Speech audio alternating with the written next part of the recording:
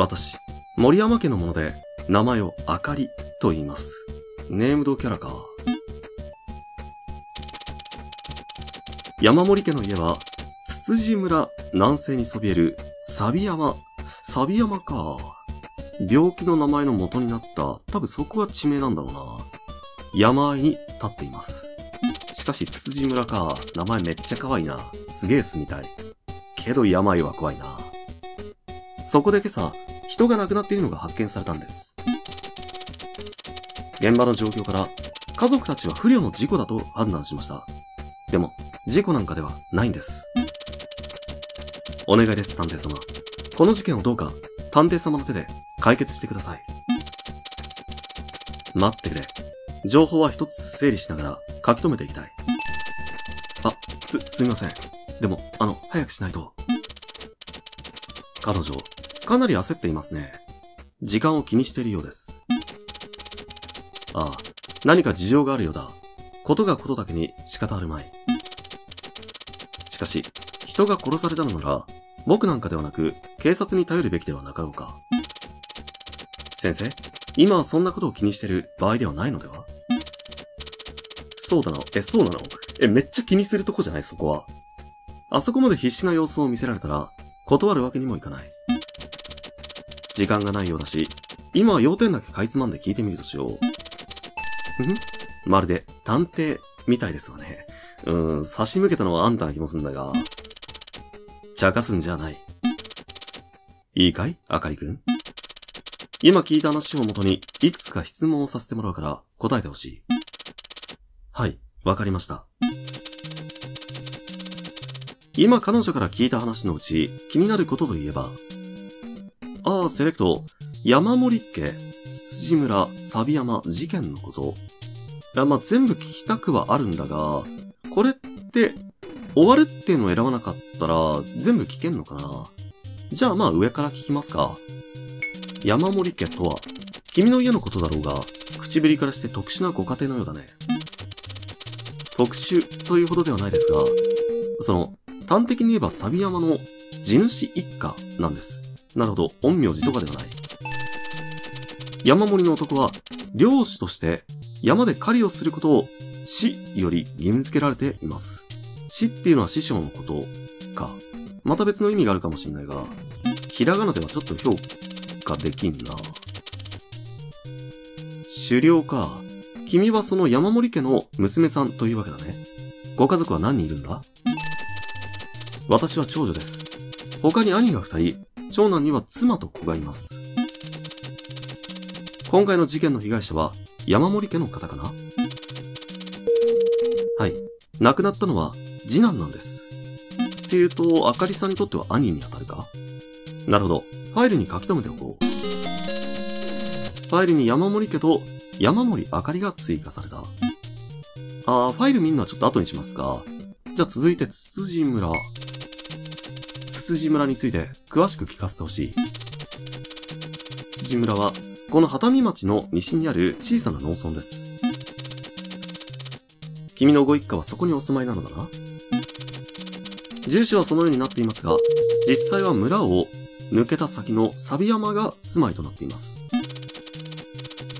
山の中にご邸宅が、いやでも足腰が鍛えられそうだな。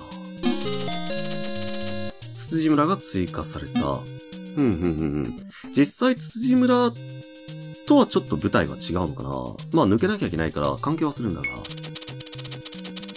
サビ山という響き、どこかで似たような言葉を聞いた気がするな。それはもしかして、サビ病のことではないでしょうか。ああ、そうだ。サビ山とサビ病。何か関係がありそうだが。え、ええ、まあ、それは、その、話すと長くなりますので。ふむ。では、今は省くとしよう。サビ山が追加された。なるほど。少し長くなるぞって。まあ、そのうち聞けるのかな関係するっていうのは今の、まあなんか状況から間違いないんだろうが。じゃあ最後事件のこと。事件現場の様子から事故だと判断されたそうだが、君はなぜ殺人だと思ったのかな？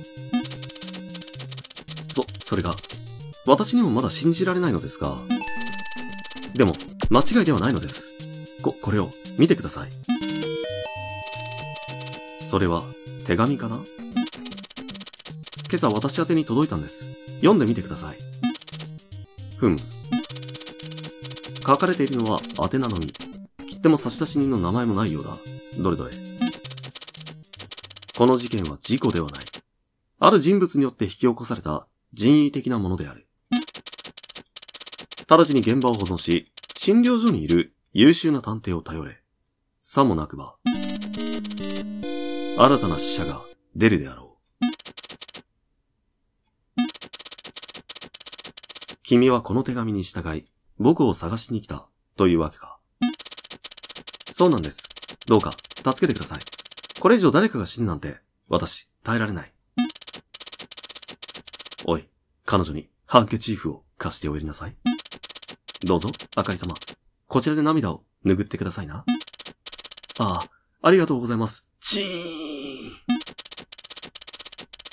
この手紙は、重要な情報として預かりたいのだが、構わないかなはい。どうぞお持ちになってください。手紙を受け取った。これはファイルに加算されんのかなしかし診療所にいる探偵を頼れか。これは主人公が腹を壊したのも含めて、なんか手のひらで踊らされてる感あるなま、その食あたり自体は関係なかったのかもしんないけど、うん。いやでも足止めしたって考えるとやっぱりそっか。なんか状態の悪い駅弁を、駅弁買ったの助手ではやはり助手は黒幕だったりするものか。うん、怪しいなと常々思っていたけど。えー、っと、終わるの前にちょっとファイル見てみるか。えー、用語。ああ、こういう風に増えんのか。あ、つつじ村。筒が治るか。えー、畑見町の西に位置する小さな農村。えー、村を抜けた先に九段のサビ山がある。で、サビ山。えー、当時の南西にそびえる山。山あいに山森家の邸宅がある。でもって左下山森家。サビ山の地主一家。男は死より、あ、あ、死って師匠の死じゃなくて市町村の死か。なるほどなるほど。資料が義務付けられている。えー、長男とその妻子、次男、長女の5人家族。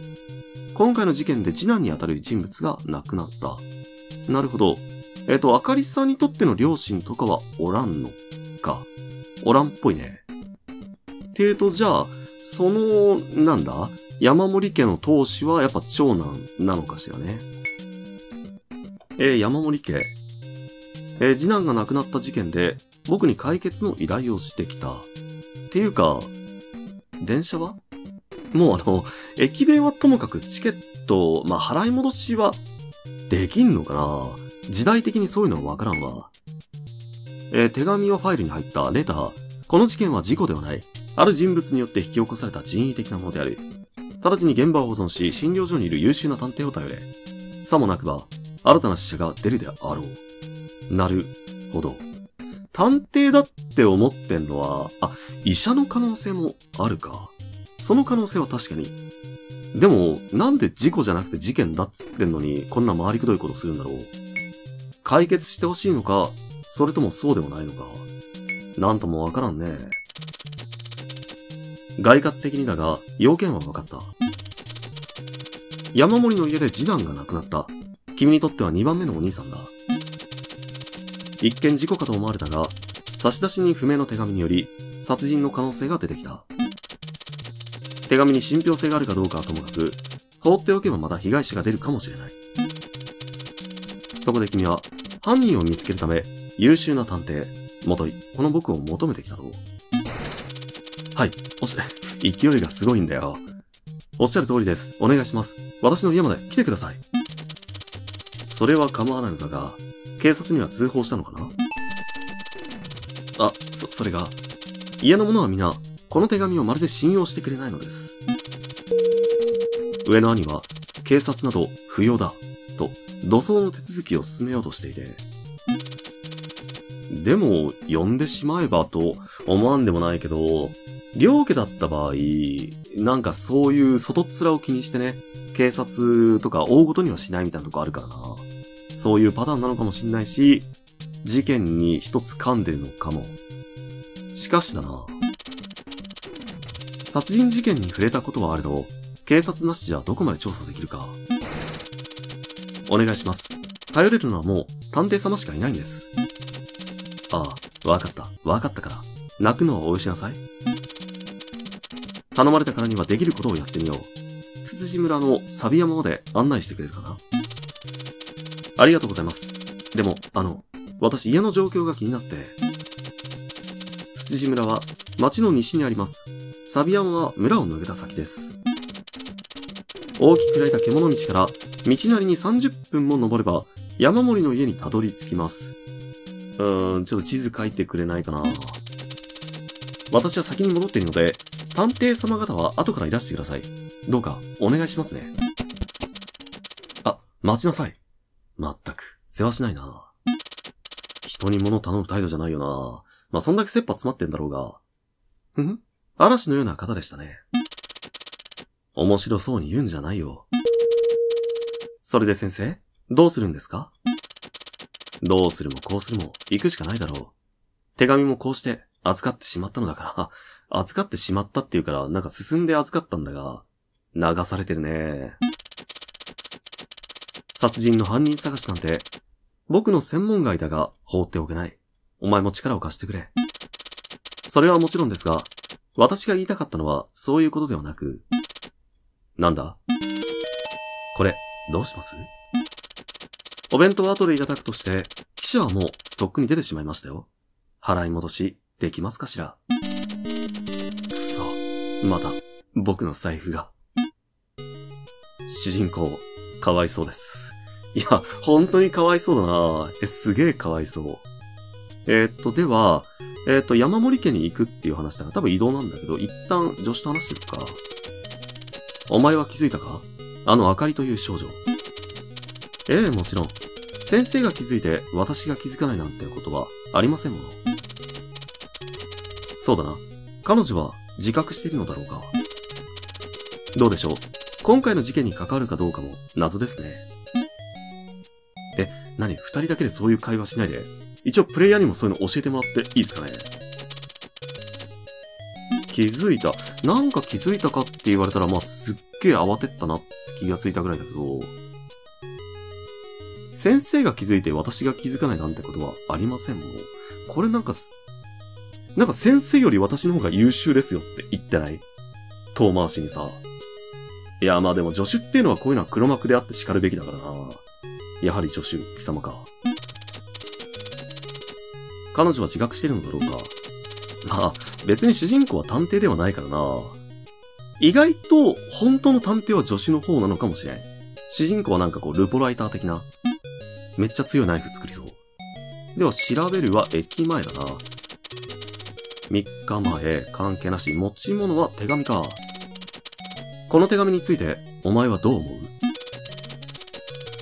切手も宛先も住所もないのですから、書かれたご本人が直接投函されたのでしょうね。筆跡から差出人を特定できそうなものですけれど。あかりくんに会ったら筆跡に見覚えがないか聞いてみるとするか。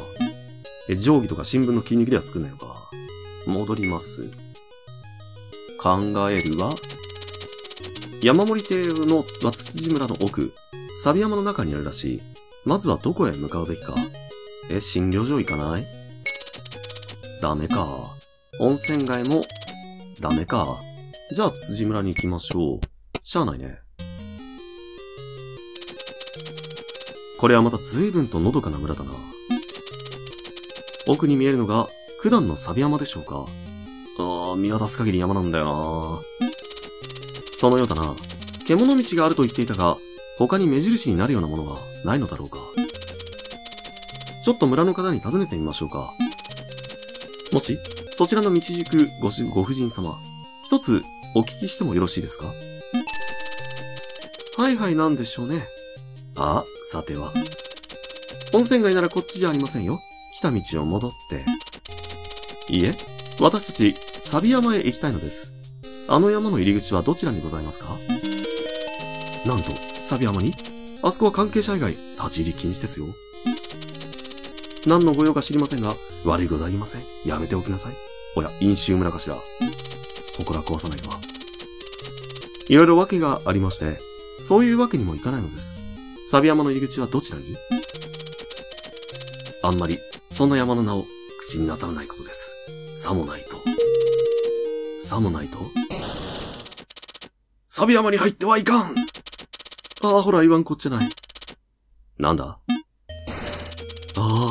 やばい、ベタなの来た。本業の方いらっしゃった。わけも知らぬよそ者が、サビの、サビ取りの山に、何をじゃサビ取りの山か。クレ 556? え？え？なんだ、このロバ。不老者のような姿をして、ただものではない、気配を感じる。え、お前たちのような輩が、あの山に踏み入るなど言語道断、即刻立ち去られよ。い、いや、その、ご老人。僕たちにも色々と訳がありましてね。キエーサビ病かしら。先生、下がっていて、くださいな。殺すんじゃないぞ。む、無茶するなよ。ご婦人様、今のお言葉、よほどサビ山について明るいご様子。よろしければ詳しくお聞かせくださいませんか？サビ取りの山は、今はや、悪しき気に侵されておる。ひとたび足を踏み入れれば、お前たちの命はない。あ、心配してくださったんですね。お優しい。まあ、怖い。この切り返し腹の探り合いって感じすごいわ。おい、あんまり煽るな。この老婆、目が本気だぞ。でもご婦人様、私たち約束があるのです。残念ですけど、お願いは聞けませんわね。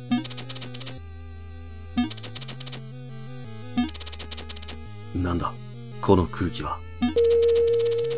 そうか、貴様。よく見れば、まさか山を荒らすつもりではあるまいな。とんでもない。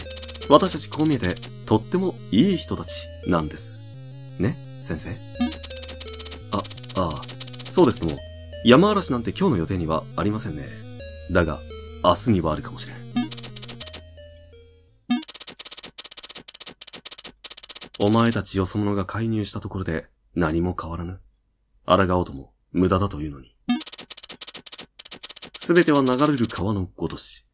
我ら、人なぞ、ただ一枚の木の葉に等しい。何だったんだ今の人。腹の探り合いというか、気の読み合いというか、目と目で語り合ったな。マジで女子が何者なんだよ。マジで怖いんだけど。サビ山のこと、サビ取りの山とおっしゃっていましたね。他にも物騒なことを口走っていたな。僕たちの命がどうとか。はあ、相変わらずおっかない。いたんですかご婦人。あの人はサビ山に立ち入ろうとするや人がおられると、今のように怒鳴り散らすので有名なんです。いつのことだったか、どこからともなくやってきて、この村の外れに 住み着きましてね、え、外からいらした方なんですね。我々村人を監視するような目つきで見てくるのです。気味が悪いったらありゃしない。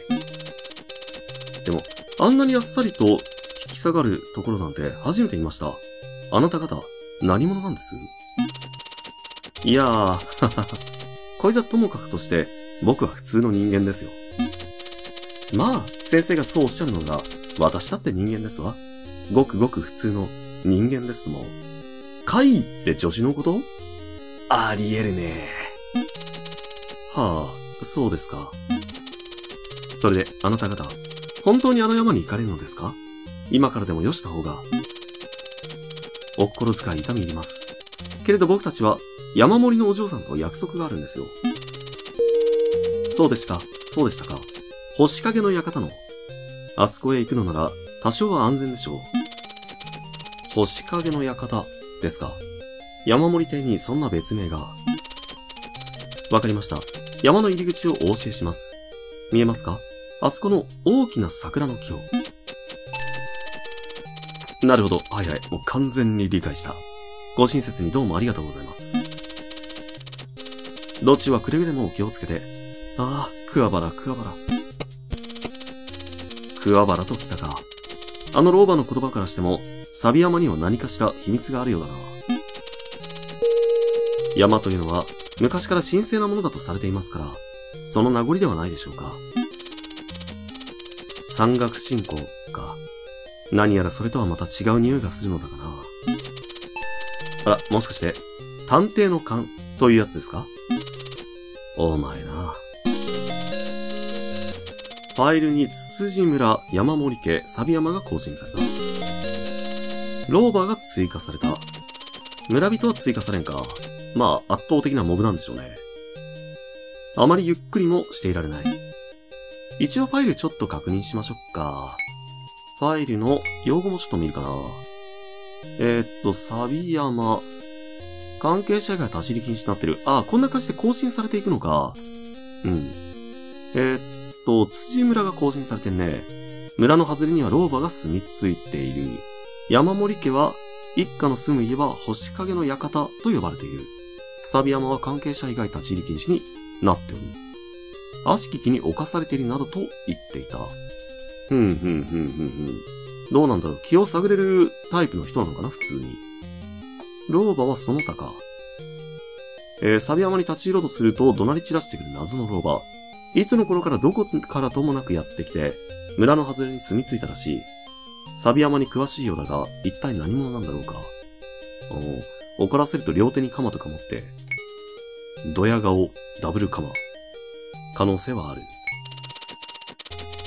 あのロバ、数々の不吉な言葉を残していたが、何者なのだろうか。不気味という表現がぴったりな方でしたわね。笑顔で言うね。よそ者の私たちは、サビ山に立ち入ってはいけないのでしょうか。村の方からも、立ち入り禁止になっているとおっしゃっていましたし、地主の山森が死から狩猟を命じられているのと関係がありそうだな。狩猟か。もしかしたら狩猟つっても悪魔を狩る一族なのかもね。デビルハンター的な。まあ大方、狸かイノシシあたりが人里に降りて畑を荒らしているんだろう。あら、いいですよね。狸汁にボタン鍋。先生、せっかくですから、私たちも。からんぞ。お前が何を考えてるのか手に取るようにわかる。これからベルモンド家は魔を狩る一族となる。ツツジ村、のどかな田園風景が広がっている。のどかですね。手紙は、あん、まあ変わらんか。このアイテムは、時々出した方がいいのかなこのメニューが出てくるときは大概女子と話してるときぐらいだと思うんだが。老婆の言葉が気になるが、引き返すわけにはいかない。サビ山へ向かうとしよう。じゃあまあ移動しますか。駅前。戻れるんかーい。ちょっと気になったから言ったんだけど。で、土村は経由しないといかんと。まあ、サビ山に行きますか。あったぞ。この獣道がサビ山の入り口だ。道なりに30分も登れば山盛り邸に着くと、あかり様がおっしゃっていましたね。登山用の履物ではないから、もう少しかかるかもしれないな。駆け足で行くとしよう。山歩きの基本は、急がずゆっくりと進む、だそうですよ、先生。足の裏全体で地面を踏みしめるのです。重心の移し方が大事なのだとか。お前なんでそんなこと知ってるんだ？登山の経験でもあるのか？温泉でご一緒になった観光の方から聞いたのです。呼吸の仕方も重要だと教わりましたね。山の呼吸？遭難した時は山を降りようとしてはいけないのだとか、川沿いを下るのも危険なのだそうですわ。山頂を目指すわけではないのだ。その知識、今はしまっておくといい。行くぞ。お前の靴、どうにも歩きづらそうだ。転びそうになっても袖を掴むなよ。ではその時は、襟の方を遠慮なく。あ、すげえ蚊が飛ぶような感じ。な、なんだ？頭が、痛い。ぐ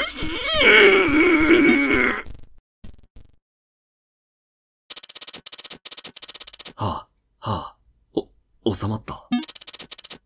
今のは、一体。山に一歩足を踏み入れた途端、謎の頭痛と動機が。う、うお、おい、どうした？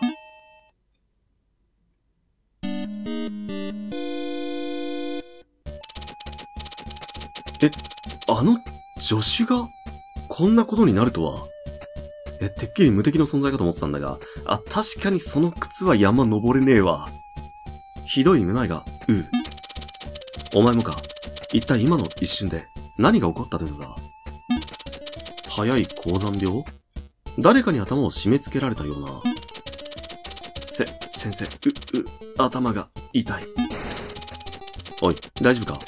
どうやら僕よりも重症らしい。そこの国で休ませてやろう。い、いえ、一度山を山から出して。わ、わかった。肩を貸してやる。しっかりするんだ。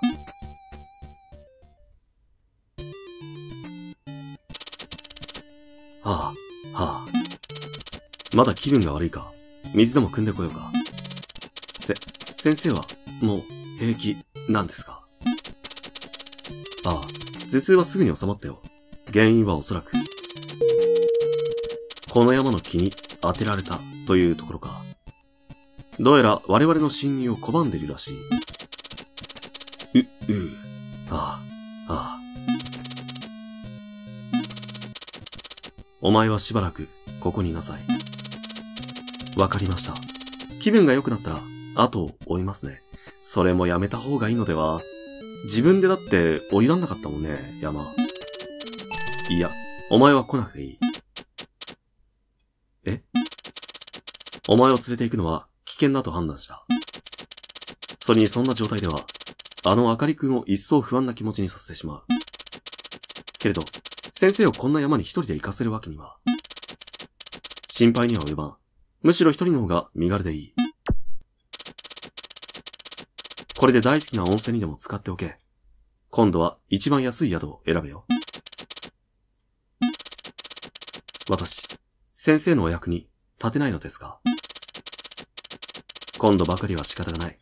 何かあればこちらから連絡する。わかったな。はい。どうか、どうかお気をつけて。意外にも助手の方がもしかして先生に対して依存してるかなてか先生流されるし、いや、これは割と普通にモテるのではうん。さて、じゃあとりあえず話していくか。体調はどうだ？はい。少しずつですが良くなってきています。歩けるようになったら、速やかにここを離れなさい。お前はサビ山に嫌われているようだ。ん？おもはゆうですわね。え、なんか塩らしい助手。ねえ。いや、これはこれで魅力的だけど、やっぱりいつもの方がいいよね。しかし、入れないか。助手と先生で何が違うんだろう。やっぱ助手の方は、がっつり怪異的な何かなのかな。それとも、また別の意図があるのか。それは山と会話してみんとね。サビ山のふもとだ。草木がうっそうと生い茂り、昼前だというのに薄暗い。獣道は山の奥へと続いてる。この先に山盛り亭があるらしい。調べる持ち物、手紙はまあいいか。考える。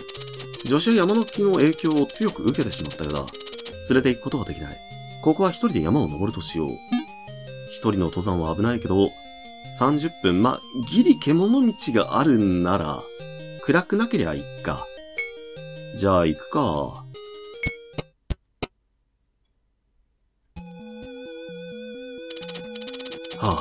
あ、歩き始めてまだ15分も経っていないというのに、ふくらはぎがつってしまいそうだ。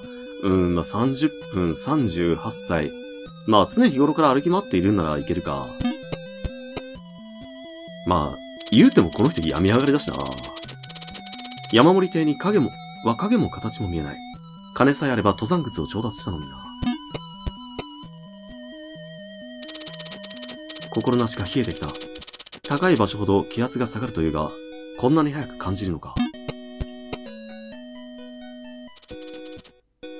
って。ん？風の音かな？け、て。違うな。これは人の声だ。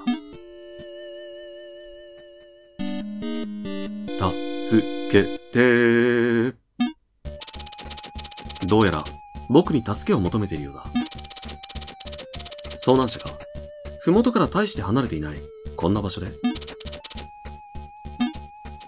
た、す、け、て返事、おっと、ここでセレクトか。返事しますよ。もしかしたら怪我を負って動けないのかもしれない。ここで放っておいたため、こと切れてしまった、なんてことがあってはまずい。おい助けを求める声を、どこにいる足でもくじいたのか？悪いが僕はここに初めて来たのだ。ひどい怪我でなければ、け、てー。探偵様、いついらっしゃるのかしら？ああ、こうしている間にも、刻一刻と時間が。探偵様、今、どこで、何をしていらっしゃるのです？探偵様。